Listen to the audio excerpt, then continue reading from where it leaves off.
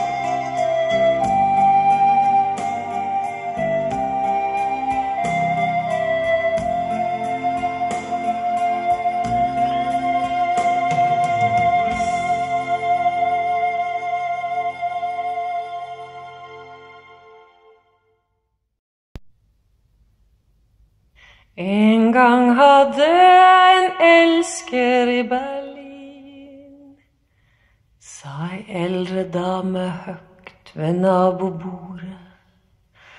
Han hadde stemme som en gammel fiolin, og han snakka til meg med den herregud. Det heter visst å falle for en mann. Og jeg tok retning himmel, jeg fløy og jeg fløy høgt. Det var ikke noe fornuft i det vi gjorde. Men bytte du forelskelse med høg og tørr forstand? Ikke jeg, ikke han. Ikke jeg og ikke han. Og vi visste at vi måtte langt av sted vi måtte reise dit hvor ingen fant oss. Og vi fant et seil som ville ta oss med. Det fylte seg med mektig fralandsvind. Vi satsa det vi eide et nu. Ei retning for en rystelse, det sikre for et sting. Det var ikke noe fornuftig det vi gjorde. Men hvem kan temme dønningen og be dem om å snu? Ikke jeg, ikke du. Ikke jeg,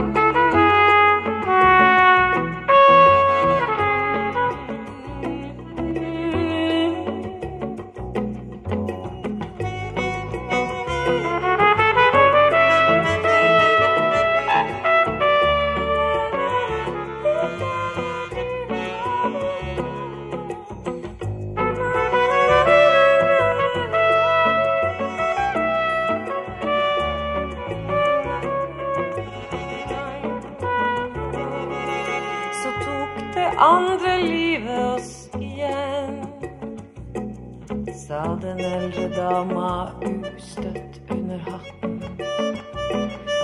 En god oppdragelse var ingen venn. Så er det vel fornuften som gjør blind. Men lidenskap har aldri tatt regi. Og seg kan ikke fylles av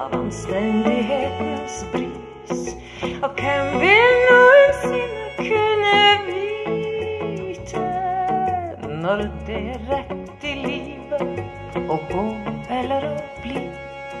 Ikke ikke vi, ikke du, ikke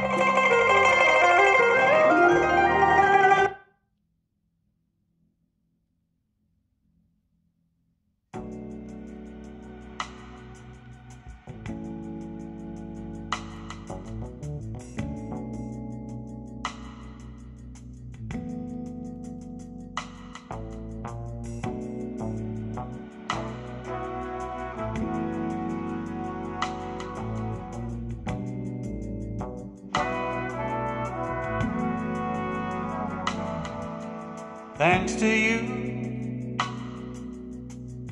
I've got a reason to get out of bed, make a move or two. Thanks to you, there's a net below. Cause otherwise, well, I don't know. And thanks to you, there are promises.